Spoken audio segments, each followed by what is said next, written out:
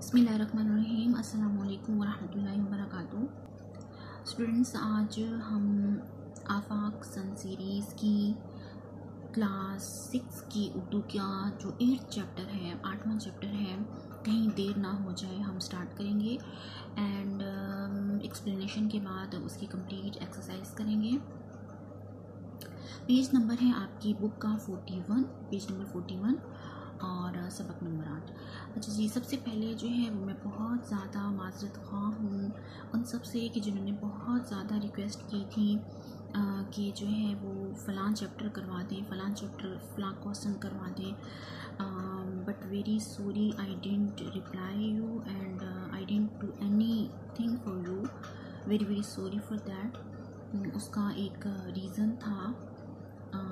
जो कि फिर मैं कभी शेयर करूँगी। बट ये कि अब इन ये है कि regularly and step by step मैं जो है आपकी ये फरमाइश पूरी करूँगी। मतलब एट चैप्टर से जो आगे जितने भी चैप्टर्स हैं regularly continuously and without any gap and without any skipping questions जो है वो मैं अपलोड करूँगी। Again very sorry for that अच्छा जी आ, आ, हम आज चैप्टर शुरू करने लगे हैं। आ, कहीं देर ना हो जाए। इसमें सबसे पहले अहम अल्फाज की मैं मीनिंग नहीं बताऊँगी बिकॉज़ आगे जो है वो मैंने अंडरलाइन किए हुए हैं उसकी मीनिंग मैं बता दूँगी। आ, हम इसको जो है वो सिर्फ़ रीड कर लेते हैं या चलें मीनिंग कर लेते हैं। नंबर वन है सामीन। सामीन का मतलब क्या होता है? सुनने वाले। सामे। सामे जो कि अल्लाह ताला की सिफ्त भी है। जैसे हम कहते हैं नाजरीन व सामीन समी अल्लाह ताला की सिफ्त है। समी अल्लाह ताला की सिफ्त है। अच्छा जी वैसे जो है वो समी और सामे की अगर बात छिड़ी है तो मैं इसमें थोड़ी एक्सप्लेनेशन दे दूँ कि समी और सामे में डिफरेंस ये है कि जब जब हम बोलते हैं, या कोई भी बोलता है, जानवर बोलता है, इंसान बोलता है, किसी भी चीज़ की आवाज़ आती है और फिर हम उसको सुनते हैं ना तो फिर वो सामने कहलाता है। मतलब आप बात करेंगे तो मैं सुन पाऊँगी, आप बात नहीं करेंगे तो अंडरस्टूड है, मैं नहीं सुन पाऊँगी। लेकिन समी वो होता है कि जब आप बात करें तो भी सुने और जब आप बात नहीं कर रहे तब भी वो आपको सुन रहा है। मतलब हम दिल से भी तो बात कर रहे होते हैं ना, दिल ही दिल में कुछ बोल रहे होते हैं। तो उसको सुनने वाला जो है, फ़कत एक ही है, अल्लाह ताला की ज़ात है। इस वजह से अल्लाह ताला जो है, वो समी है और हम जो है, वो सामे हैं। तो सामीन का मतलब क्या होता है सुनने वाले? ओके। नेक्स्ट है मदो। मदो मतलब दावत से निकला है, जिसको दावत दी जाए, जिसको बुलाया जाए। हालत इज़ार का मतलब क्या होता है? यानी कि बुरी हालत। बुरी हालत रोने वाली हालत इस तरह। आशनाई का मतलब क्या होता है? जानकारी कह लो। जानकारी इस चहकार चहकार जो है वो यानी कि इसको हम यूँ कह सकते हैं कि शोखी कह सकते हैं चहचहाना कह सकते हैं। आहो फुका का मतलब क्या है? रोना और अपनी परेशानी का इजहार करना, तकलीफ़ का इजहार करना। फाजिल मादे, यानी जो वेस्ट मटेरियल होता है वेस्ट प्रोडक्ट होता है उसको कहते हैं। यानी जायद, फजूल या बेकार चीज़ कह सकते हैं उर्दू में यस और नापित कहते हैं जो कम जो कम मैसर हो, जो कम मैसर हो, ज़्यादा ना हो। हिर्स किसको कहते हैं? लालच को कहते हैं मुज़िर नुकसानदेह को कहते हैं, तगोदो मेहनत मुशक्क़त कह सकते हैं। अच्छा जी संग दिल यानी ालिम जिसे रहम ना आता हो, बेरहम कह सकते हैं। ओके जी, स्टार्ट करते हैं रीडिंग और अच्छा जी, इसमें लिखा हुआ है साइड पे मतलब पढ़ने से पहले हम क्या देखेंगे? माहौल किसे कहते हैं? तो माहौल जो है हमारा सराउंडिंग हमारे इर्द गिर्द का जो भी एरिया है, ये हमारा क्या कहला उसमें लोग भी आ रहे हैं, उसमें यानी लिविंग नॉन लिविंग थिंग सब जो है वो हमारा, हमारे लिए पौधे भी आ रहे हैं, ज़मीन भी आ रही है, पत्थर भी आ रहे हैं। यानी non living things and living things दोनों का जो कॉम्बिनेशन हमारी सराउंडिंग में, हमारे इर्द गिर्द जो कुछ भी है, वो माहौल कहलाता है। अच्छा जी साथ में उन्होंने बताया हुआ है, पूछा हुआ है, कौन कौन से अनासर माहौलियाती आलूदगी का बायस बनते हैं? यानी कौन कौन सी ऐसी चीज़ें हैं कि जिसकी वजह से जो है वो आपका जो माहौल है, वो आलूदा हो जाता है पोल्यूटेड हो जाता है, ख़राब हो जाता है? तो लाजमी बात है कि आज कल हम कह सकते हैं फैक्ट्रीज़ यानी फैक्ट्रियाँ हैं, कारखाने हैं, मिलें हैं और आपकी जो है वो ट्रांसपोर्ट है, गाड़ियाँ हैं, उससे निकलने वाला धुआँ। तो लाजमी बात है फैक्ट्रियाँ, ये जितनी भी चीज़ें हैं, इससे निकलने वाला मतलब कार्बन डाइऑक्साइड का जो भी सोर्स है तो उससे क्या हो रहा है, आपका माहौल जो है वो आलूदा हो रहा है। तो जितनी भी साइंटिफिक जितनी भी जिसमें जो है वो इस तरह की चीज़ें खारिज होती हैं तो वो उससे क्या हो रहा है? आपका माहौल आलूदा हो रहा है। ठीक है? ओके जी। ओके चैप्टर का हम रीडिंग स्टार्ट करते हैं। असलकुम मैं हूँ आपका मेज़बान एलविन और मैं मिल्की वे कहकशां से पेश किए जाने वाले अपने प्रोग्राम स्काईलैंड में अपने चाहने वालों को खुश कहता हूँ। अच्छा जी इसमें जो है वो आ, उसने अपना नाम तो बता दिया सिंपल इसमें कोई वो नहीं है।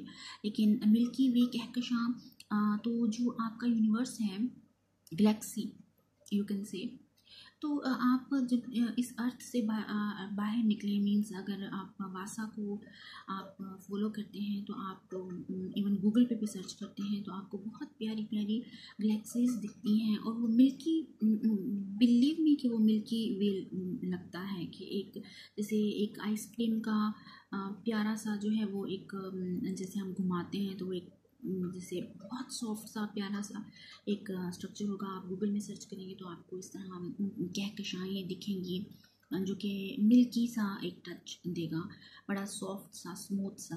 तो उसके मुतालिक बताया हुआ है कि मैं जो है वो उधर से हमारा प्रोग्राम जो है वो नशर किया जा रहा है। स्काईलैंड में आ, अपने चाहने वालों को खुश आमदीद कहता हूँ।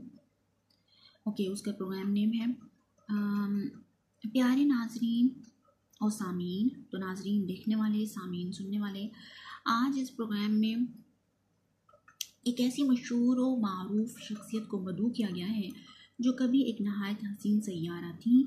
आइए आज हम उनसे मुलाकात करते हैं और उनकी कहानी, उन्हीं की ज़ुबानी सुनते हैं। मरूफ मीन्स मशहूर, यानी मशहूर और मरूफ सेम वर्ड है ठीक है? यानी उर्फ़ का मतलब होता है पहचानना, मशहूर का मतलब तो जानना कह लो। मतलब फ़ेमस ही है, दोनों का मीनिंग सेम है तकरीबन। मधु का मतलब हमने किया था कि जिसको बुलाया गया हो, दावत दी गई हो। तो तो इन्होंने बताया है कि वो सैारा थी, यानी प्लानट हैं, और वो कौन है? यानी ज़मीन है। ज़मीन सैारा हमारा जो अर्थ है उसको इन्होंने मधु किया है अपने प्रोग्राम में, और फिर उनसे उनकी कहानी सुनेंगे। ओके सैारा वैसे जो है वो प्लानट मीन्स सैारा मीन्स चलने वाला ना, सैर करने वाला। तो अगर आप ऑब्ज़र्व थोड़ा करें अगर आसमान की तरफ़ देखें तो आपको डिफरेंस दिखेगा। तारों और सितारों में मीन्स आपको जो तारे जहाँ पर है ना, वहीं पे ही दिखेंगे। मूव करते हुए नहीं दिखेंगे। लेकिन जो प्लैनेट्स हैं सैारे हैं छोटे छोटे बिल्कुल सितारों की तरह ही दिखते होते हैं। आप गौर से देखेंगे तो आपको फील होगा कि कुछ उसमें चल रहे हैं। तो वो क्या होते हैं? सैारे होते हैं। ओके मेज़बान, अस्सलाम वालेकुम ज़मीन जी। मैं अपने प्रोग्राम में आपको खुश कहता हूँ। क्या हाल है आपके? खुश आमदीद मीन्स वेलकम करना, ये फ़ारसी का लफ्ज़ है, यानी आपका आना जो है वो खुश यानी मुबारक है, हमारे लिए खुशी का बायस है तो यानी आपका आना खुशी का बायस हुआ। तो यानी ग्रीटिंग्स है, जो कि आप उर्दू में भी इस्तेमाल होता है, फ़ारसी का वैसे प्रॉपरली वर्ड है। ज़मीन, अरे क्या पूछते हो मैं तो अब हाल से बेहाल हूँ और खुश आमदीद कैसा? खुशी नाम के लफ्ज़ का तो अब मेरी ज़िंदगी में कोई वजूद ही नहीं रहा। मेज़बान जी, आपकी हालत इजार देख कर वाकई बहुत अफसोस हो रहा है ज़मीन दुख से। क्या कह सकते हैं? वक्त वक्त की बात है। अच्छा जी तो उधर जब इन्होंने खुश आमदीद कहा है ज़मीन को तो ज़मीन ने जो है वो पहले ही रोना शुरू कर दिया है कि आप खुशी का तो नाम ही ना लें, क्योंकि मेरी ज़िंदगी में तो खुशी नाम का कोई वजूद ही नहीं है। किसी तरह उसकी कोई प्रेजेंस ही नहीं है। और फिर उन्होंने जो है वह हालत ज़ार एक मुहावरा है कि जो कि एलविन ने यूज़ किया है कि आपकी जो बुरी हालत है, उसको देख के वाकई हमें तकलीफ़ हो रही है, दुख हो रहा है। और फिर जो है वो ज़मीन ने क्या कहा कि वक्त वक्त की बात है मीन्स वो कह रही है कि एक टाइम था कि मैं सही भी थी, इससे ये हमें थोड़ी समझ में आती है। अच्छा यहाँ पर जो लिखा हुआ ना, क्या कह सकते हैं?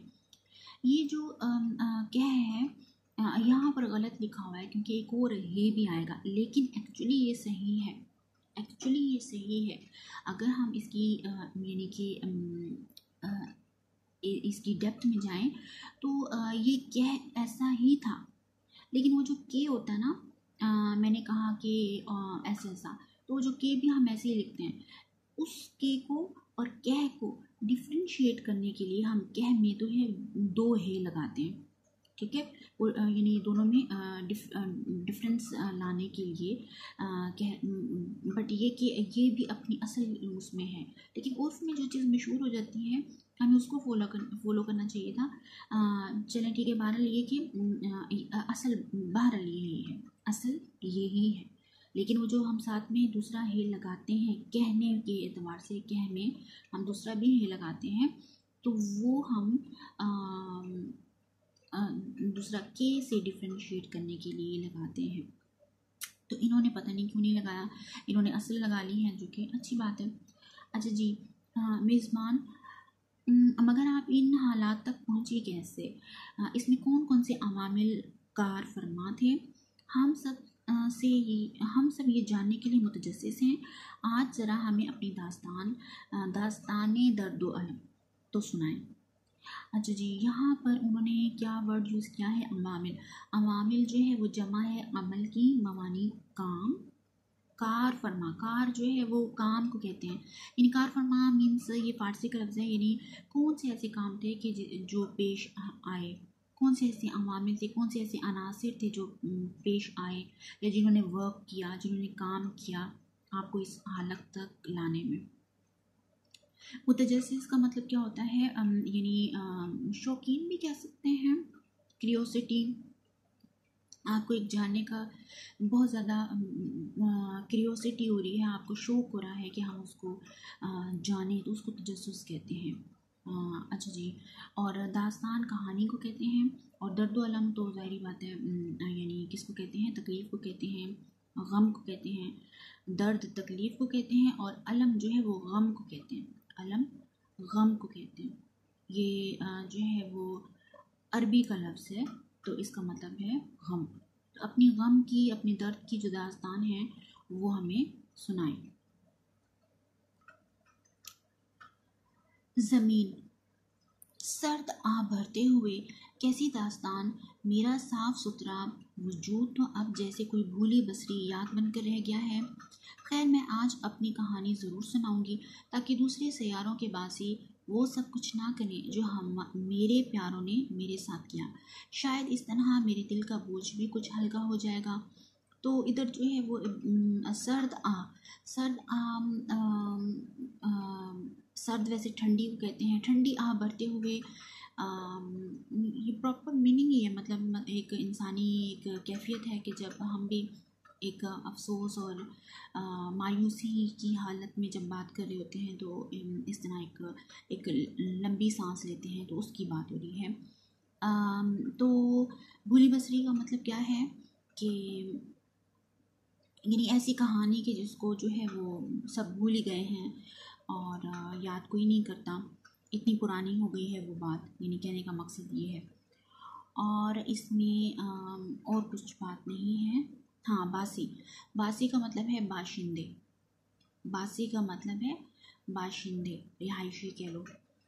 तो इधर क्या बताना चाह रहे हैं? सिंपल है कि वो ज़मीन ये बोल रही है कि भाई, दास्तान, अब मैं क्या सुनाऊँ कि जो असल कहानी है, वो इतनी पुरानी है कि और कौन सी कहानी कि मेरा साफ़ सुथरा वजूद माहौल का साफ़ सुथरा होना इतनी पुरानी कहानी है कि वो बस एक याद ही बन गया है।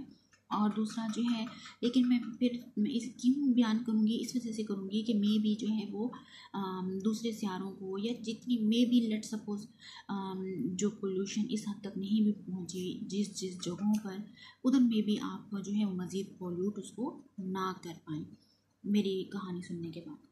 तो मेज़बान के कह रहे हैं, जी जी, ज़रूर, ज़मीन। मादी की हसीन यादों में खोते हुए मेरी हालत कभी ऐसी ना थी जैसे कि इस वक्त नज़र आ रही है। मैं अरबों साल पहले वजूद में आई। मेरे ऊपर ज़िंदगी रकसा थी। हर तरफ़ जंगलात थे, जो अनवा अकसाम के चरिंदों और परिंदों की आमाजगाह थे। जिधर देखो, सब्ज़ा और हरियाली नज़र आती थी। गर्दो गुबार के नाम से कोई आशनाई ना थी।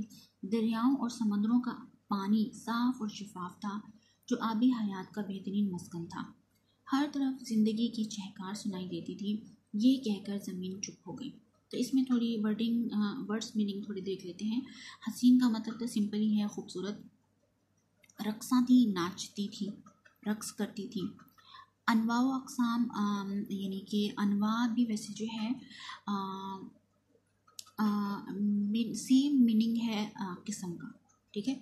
मुख्तलिफ़ अकसाम मुख्तलिफ़ मुख्तलिफ़ तरह के यानी नो जो है वो भी आ, ए आ, का मतलब ही क्या होता है?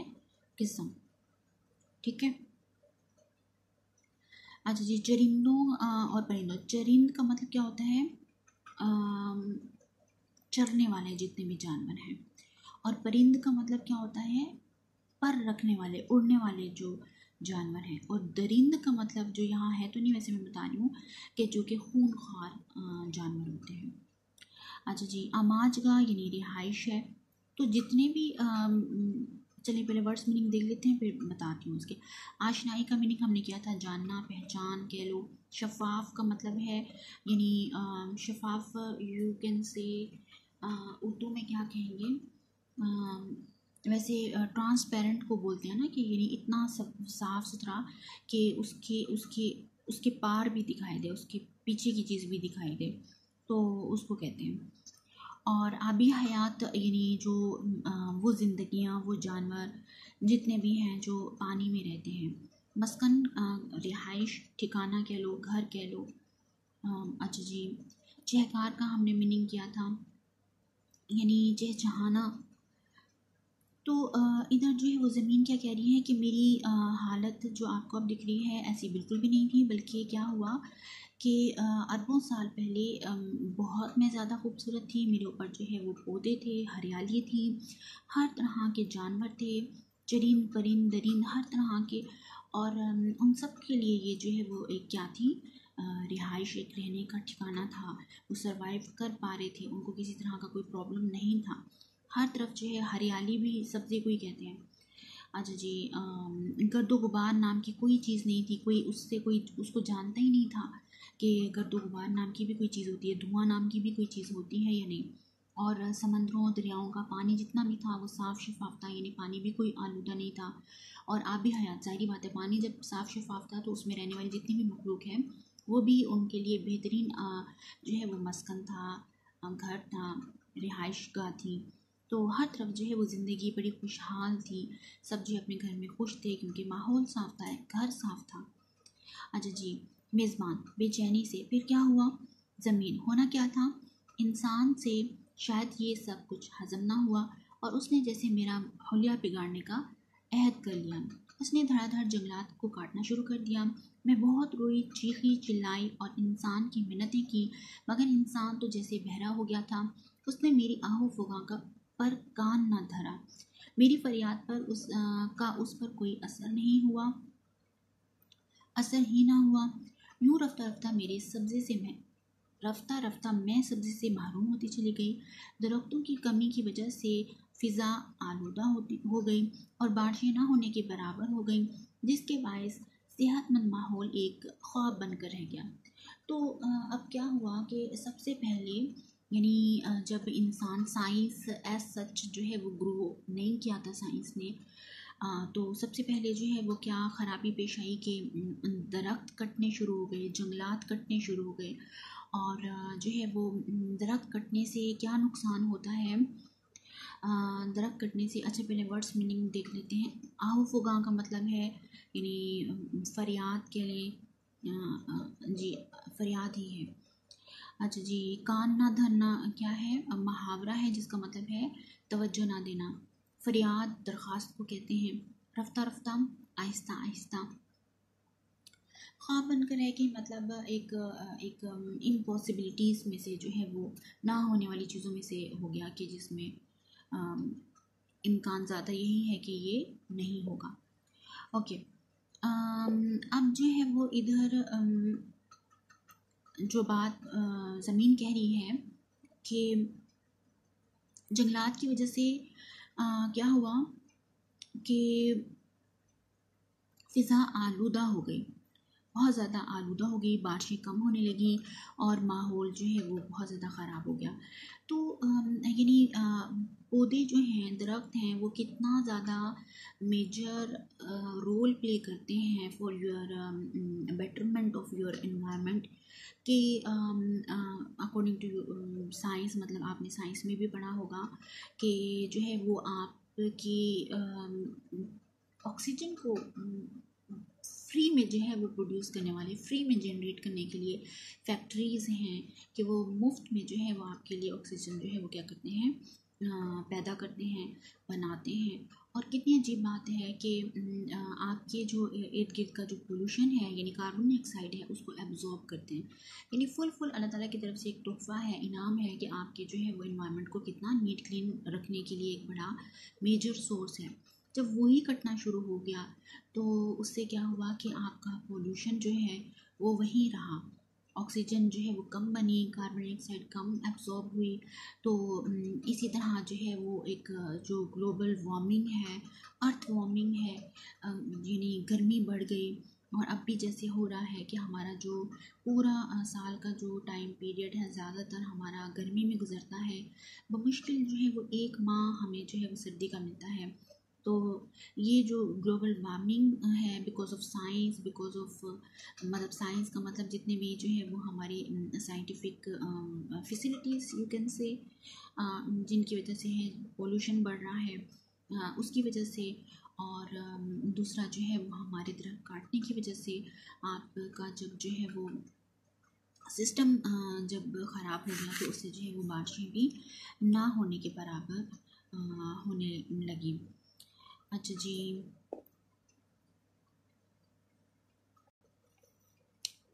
ओके नेक्स्ट पैराग्राफ है। मेज़बान, क्या आप अपनी तबाही की वजह सिर्फ़ जंगलात के कटाव को ठहराती हैं? ज़मीन, अरे हज़रत, कहाँ? मेरी तबाही में तो बड़ा हाथ इस मोई साइंसी ईजाद, ईजादात का भी है। कहा जाता था कि ये तरक्की का दौर है। रोज़ रोज़ नित नई ईजादात हो रही हैं। इंसानी जंगलों से निकल कर शहर आबाद कर रहा है। सॉरी इंसानी नहीं, इंसान जंगलों से निकल कर शहर आबाद कर रहा है। पत्थर के ज़माने से निकलकर एटमी दौर में दाखिल हो गया है। मगर मैं पूछती हूँ कि ये कैसी तरक्की थी कि जिसने मेरा वजूद ख़तरे में डाल दिया। तो जो मेज़बान हैं, उन्होंने यानी जो जंगलात की कटिंग है, उसको बताया है कि क्या वो रीज़न है कि इस हद तक जो है माहौल आलूदा हो गया है। तो उन्होंने बताया कि जंगलात के अलावा जो है, वो साइंसी ईजादात हैं। मुई का मतलब क्या है? यानी मतलब एक बुरे अंदाज में जब किसी को मुखातिब करते हैं कि बुरी कह लें। अच्छा जी तो इसमें कोई डिफ़िकल्ट वैसे वर्ड नहीं है। तो आ, उसमें फिर उसने ये शिकायत की कि कहा तो ये चाहता था कि साइंस से जो है वो तरक्की होगी और जो है वो नित नई हाँ नित नई का मतलब है नई नई कह लें रोज़ नई चीज़ें नई से नई मज़ीद चीज़ें जो है वो ईजाद होगी। ईजाद का मतलब ईजाद का मतलब एक होता है आ, एक होता है आप तख्लीक करना। एक होता है तख्लीक करना और एक होता है ईजाद करना। तो तख्लीक और ईजाद में फ़र्क ये होता है कि आप कोई चीज़ बनाते नहीं हैं। मतलब आप उसको, उस तक पहुँच जाते हैं। आप उसको हासिल कर लेते हैं। अल्लाह ताला की ही बनाई हुई नेमत नेमत होती है। तो उसको तख्लीक करना कहते हैं। लेकिन आप खुद से अगर एक चीज़ बनाते हैं तो उसको ईजाद करना कहते हैं। ठीक है? अच्छा जी, यानी नए सिरे से बनाना जिसको कह लो, नए सिरे से बनाना। तो तो नई नई ईजादात होंगी। तो इंसान जो है वो जंगल से निकल के शहर आबाद कर रहा है, पत्थर के ज़माने से आप निकल कर एटमी दौर की तरफ़ आ गए हैं। यानी पहले जो है वो इंसान गारों में रहता था, जंगलों में रहता था। तो अब जो है वो इतना तरक्की याफ्ता दूर हो गया है। लेकिन इसमें कौन सी तरक्की है कि जो आपके जहाँ आप स्टे कर रहे हैं? यानी उस उस उस, उससे बड़ा बेवकूफ़ कौन होगा कि जो ज़मीन को अपनी ज़मीन को ख़तरे में डाल के उस पर पूरा एक खूबसूरत सा महल तैयार कर रहे तो उससे बड़ा बेवकूफ़ कौन होगा? जब ज़मीन ही नहीं रहेगी तो क्या उसका वो महल रहेगा या वो खुद रहेगा? तो ज़मीन ने भी जो है वो यही एतराज़ किया है। ओके। यहाँ पर जो है वो ये जो ग्रीन एरिया में लिखा हुआ है कि आबी आलूदगी से क्या क्या नुकसान पहुँचते हैं। यानी अगर जो है वो आप अपना जो जितने भी पानी के ज़राए हैं मीन्स दरिया हैं, नदियाँ हैं, नहरें हैं, समंदर हैं तो इसको अगर सपोज़ आप पोल्यूटेड रखते हैं, आलूदा गंदा रखते हैं तो उससे जो है वो क्या नुकसान होगा? अच्छा इसको कैसे गंदा रखा जा सकता है? जितनी भी ज़्यादातर वैसे तो पाकिस्तान में भी मोस्टली दूसरी कंट्रीज़ में भी, लेकिन थोड़ी रेशो वहाँ में भी कम होगी। तो उधर ये होता है कि जितने भी ये जो कारखाने हैं, ये फैक्ट्रीज़ हैं, उनका जो केमिकल जो होता है वेस्ट प्रोडक्ट होता है, वो ज़्यादातर जो है वो इस तरफ़ दरियाओं में, नदियों में, नालियों में, उस तरफ़ जो है वो क्या करते हैं ख़त्म, डाल देते हैं, जिससे क्या हो जाता है, पानी आलूदा हो जाता है। तो चलो, उसके नुकसान क्या है? उसके नुकसान, पहला तो ज़ाहरी बात तो ये है कि जितनी भी आबी मखलूक हैं, जितने भी आबी जानवर हैं, मछलियाँ वगैरह हैं, जितनी भी मखलूक है पानी में रहने वाली वो मर जाएगी क्योंकि उनको भी वैसे ही ऑक्सीजन की ज़रूरत होती है, जिससे कि इंसानों को ज़रूरत होती है। वन थिंग दूसरा जो है वो उस पानी को अगर कोई जानवर पीता है, यानी यानी, खुश्की के जो जानवर पीते हैं, बकरियाँ पीती हैं, गाय, भैंस वगैरह, ये पीते हैं तो उससे क्या होगा वो भी मर जाएँगे। और अगर ये आलूदा पानी जाता है कहाँ खेतों में तो ज़ाहिरी बात है कि ये आलूदा पानी आ, से फ़सलें जितनी भी होंगी वो कितनी जहरीली हो जाएँगी और वो आपके लिए कितना हार्मफुल होंगे इंसानों के लिए कितना हार्मफुल होंगे। और अगर आप उसको पानी को पीते हैं लेट सपोज़ तो आपके लिए वो पानी कितना नुकसानदेह होगा। कि जो है वो मतलब पूरा का पूरा सिस्टम ही, जितने भी लिविंग ऑर्गेनिजम्स हैं, वो सारे के सारे जो है वो ख़त्म हो जाएँगे बिकॉज़ ऑफ़ पॉल्यूटेड वाटर यानी कि आलूदा पानी के नुकसान ये ये हो सकते हैं। ज़मीन को खुश करने से और इसे ख़राब होने से बचाने के लिए हमें क्या क्या इकदाम करने चाहिए? यानी क्या क्या पेश रफ्त करने क्या स्टेप्स उठाने चाहिए इकदाम क्या स्टेप्स उठाने चाहिए कि हम जो है वो ज़मीन को अपनी जो मदर अर्थ है, उसको हम कैसे खुश कर सकते हैं और उसके जो हालात हैं, उसको कैसे हम संवार सकते हैं कि उसकी पहले वाली कंडीशन हो सके? तो लाजमी बात है कि दरख्त काटना या इट्स अ बैड थिंग और इस तरह उसने जो दूसरा जो रिसोर्स बताया है साइंसी ईजाद तो लाजमी बात है, आज हर बंदा जो है वो साइंसी ईजादात से परेशान है, उसके नुकसान से डीमेरिट से परेशान है।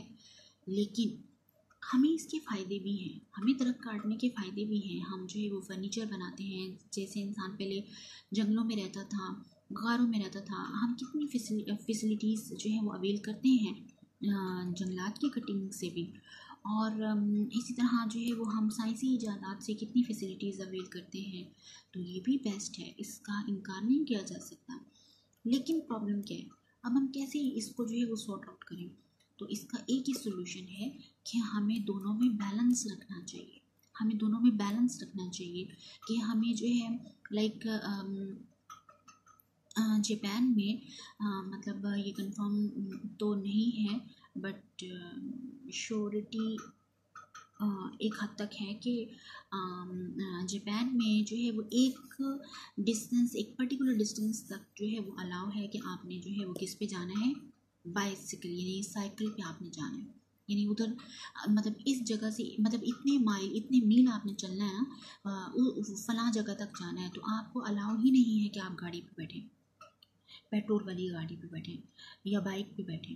आपने साइकिल से ट्रैवल करके जाना है। और फिर जो है वो दूसरे जो स्टेशन पे भी आपको साइकिल मिलेगा।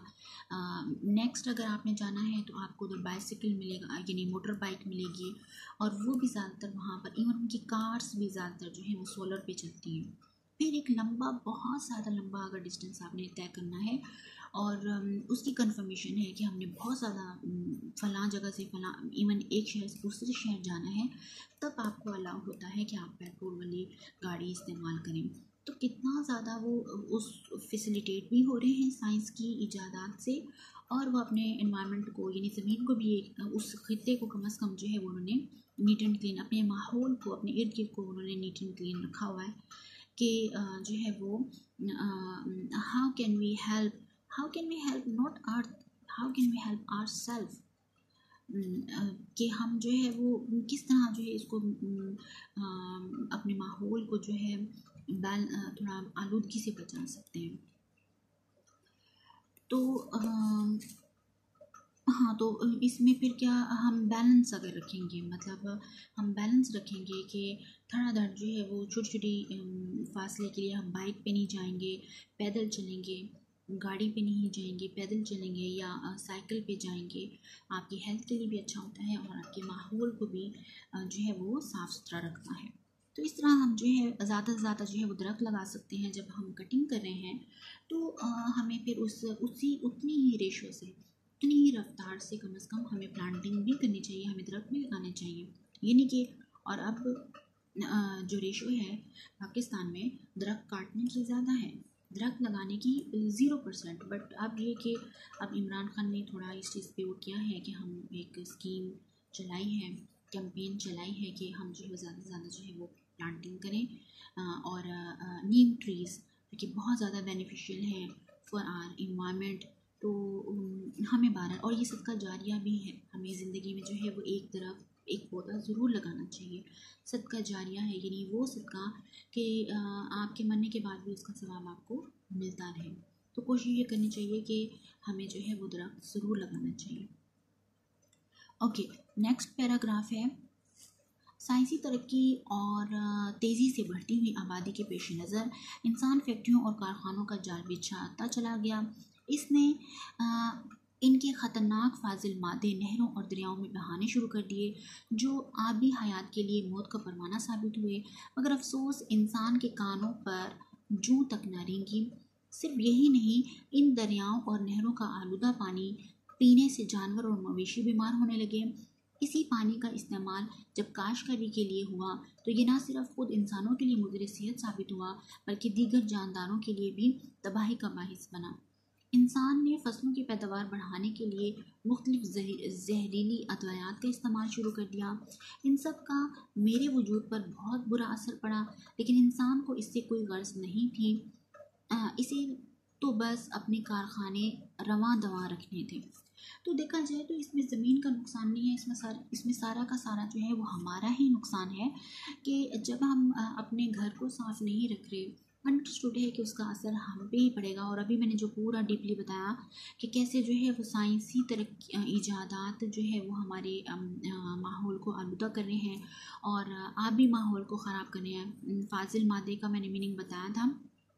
कान पर जूँ ना रिंगना ये मुहावरा है, यानी किसी तरह भी का किसी भी बात का असर ना लेना। मुजर सेहत का मतलब है सेहत के लिए नुकसानदेह, जहरीली अद्वयात। अद्वयात दवाई की जमा है तो जो है वो, नुकसानदेह अद्वयात की बात हो रही है। रवा दवा यानी रवा, जारी होना, ये भी जो है वो मुहावरा है।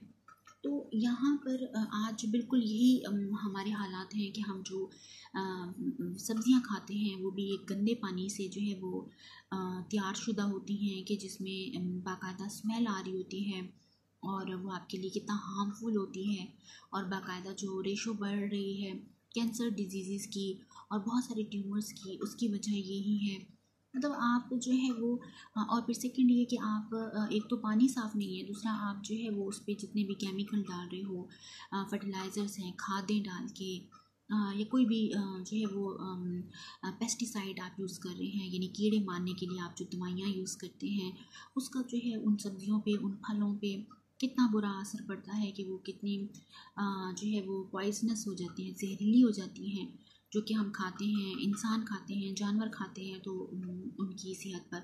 और यही वजह है कि जो जो लाइफ का जो यानी एज रेशो है, वो बहुत ज़्यादा डाउन हो गया है। जवान जवान लोगों की जो है वो डेथ हो जाती है। और और अगर कोई बीमारी होती भी है तो उसको ज़्यादा जो है वो यानी इम्यूनिटी सिस्टम इतना लो हो जाता है।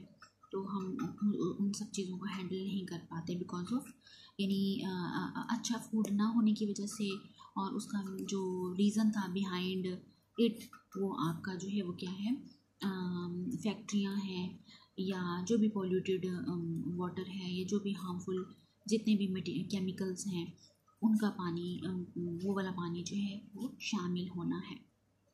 Okay come to the next page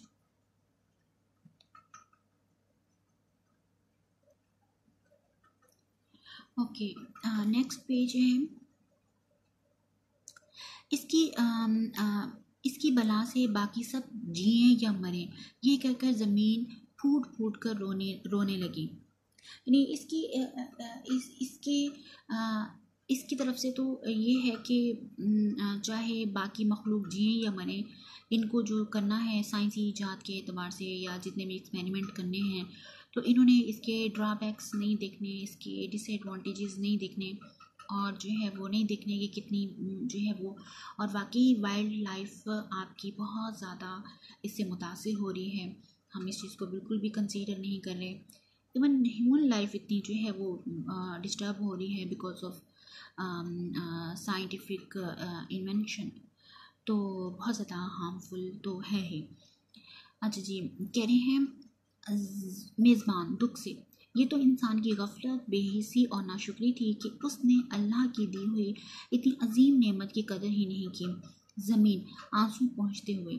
ये क्या कह सकते हैं? इंसान तो बस अंधाधुंध तरक्की की दौड़ में शामिल होने की तगदों में मसरूफ़ था। उसने बड़ी बड़ी गाड़ियाँ जदीद तरीन हवाई जहाज़ और बहरी जहाज़ बना लिए। इंसान का सफ़र तो आसान और तेज़ रफ्तार हो गया, मगर उसने कभी इन गाड़ियों के धुएँ की जानब तवज्जो देने की जहमत ही नहीं की कि जिसकी वजह से मेरा हुसन मान पड़ने लगा, धुएँ की इन कसाफ़तों की वजह से धीरे धीरे मेरे लिए सांस लेना दुशवार हो गया हो गया था। यह कहकर ज़मीन यूँ लंबे लंबे सांस लेने लगी, जैसे उसे सांस लेने में तकलीफ़ हो रही हो। तो यहाँ पर जो डिफ़िकल्ट वर्ड्स हैं, वो अजीम नेमत, यानी अजीम का मतलब क्या है? बड़ी बड़ी नेमत। और अंधाधुन का मतलब क्या है? यानी लगातार बेशुमार बग़ैर देखे तगोदो का मतलब बताया था मैंने, कोशिश करना, जहमत, तकलीफ़ को कहते हैं, हुसन, मांद पड़ना यानी ख़त्म हो जाना, कसाफत यानी मैल कुचैल दुशवार, मुश्किल। तो इधर सिंपल जो है, हम अभी जो बात कर रहे थे ज़मीन ने भी वही शिकायत की है कि उसने जो है अपनी सहूलियात को तो देखा, एक एक तरफ़ तो देखा, यानी तस्वीर का एक रुख तो देखा कि मुझे ये ये सहूलतें मैसर हो रही हैं। इन इन परेशानियों से मुझे निजात मिल रही है। लेकिन दूसरा उसका रुख नहीं देखा कि जो है वो इससे कितना पॉल्यूशन फैलेगा और कितनी बीमारियाँ होंगी और कितना जो है वो इवन सांस लेना तो ज़मीन ने कहा है, इंसानों का भी सांस लेना जो है वो दुशवार हो गया है। जितने भी जानवर हैं, जितनी भी हयात है, उन सब का जो है वो सांस लेना दुशवार हो गया है। तो इससे भी बहुत ज़्यादा जब इंसान ही नहीं है तो उन फैसिलिटीज़ का क्या फ़ायदा? तो बहरहाल साइंस को देखते हुए यानी उन फैसिलिटीज़ को देखते हुए उसके अगर लेट सपोज़ जो नुकसान थे तो उसको भी हैंडल करने का एक हद तक सोल्यूशन होना चाहिए और उस पर अमल भी होना चाहिए, जो कि नहीं हो रहा। मेज़बान घबरा कर आपकी तबीयत कहीं ज़्यादा ख़राब तो नहीं हो रही? चलिए आपको अस्पताल ले जाते हैं। ज़मीन ऑक्सीजन मास्क हटाते हुए, अरे नहीं, ये तो अब शबो रोज़ का मामूल बन गया है। ऊपर से गाड़ियों से पैदा होने वाला शोर शोर पहले पहल तो मुझे बेचैन कर देता था। फिर आहिस्ता आहिस्ता मेरी क़वत समात कमज़ोर होती चली गई। अब तो मुझे यूँ लगता है कि मेरी क़वत समात एक दिन जवाब दे जाएगी। अफसोस इंसान की आँखों पर पर पड़े गफलत के पर्दे ज़रा भी ना हटे। ये कहकर ज़मीन मारे दुख के चुप हो गई। तो इसमें शब रोज़ का मतलब क्या है? यानी दिन और रात, दिन रात कह लो। क़वत समात सुनने की ताकत, यानी आपकी जो लिसनिंग पावर होती है। गफलत के पर्दे, यानी आँखों पर गफलत के पर्दे। तो गफलत का मतलब जो है वो सुस्ती है जो सुस्ती के पर्दे आँखों पर पड़े हुए, आँखों पर पर्दे पड़ना असल में जो है वो मुहावरा है। आँखों पर पर्दे पड़ना। उन्होंने कहा, वह है गफलत के पर्दे ना? तो आँखों पर, पर्दे पड़ जाना, यानी जो है वो हकीकत नज़र ना आना, हकीकत से ना आशनाई तो सुस्ती की वजह से जो है वो आँखों पर पर्दे पर्दे पड़े हुए हैं, गफलत बरत रहे हैं कि पता नहीं ये गफलत कब ख़त्म होगी और फिर इनको रियलाइज़ होगा कि कितना नुकसानदेह है हमारे लिए ये सब चीज़ें और फिर इसके लिए कुछ करेंगे। तो यहाँ पर कहना क्या चाह रहे हैं? यहाँ पर एक्चुअली इस चैप्टर में पॉल्यूशन को डिस्कस कर रहे हैं तो पॉल्यूशन के जो टाइप्स हैं, इसमें नॉइज़ पॉल्यूशन यानी शोर शराबे को भी पॉल्यूशन ही काउंट किया जाता है। आपको किसी तरह आप जो डिस्टर्ब कर रहा है, आपकी हेल्थ को जो डिस्टर्ब कर रहा है, वो एक्चुअली पॉल्यूशन है। तो नॉइसी पॉल्यूशन से भी आप जो है वो क्या होते हैं डिप्रेस होते हैं टेंशन में आते हैं। तो यहाँ पर इस पैराग्राफ में जो है नॉइज़ी पोल्यूशन की बात की है और यही बात कि जितनी भी साइंसी ईजादात हैं, उनका, उनसे नॉइज़ी पॉल्यूशन भी होता है।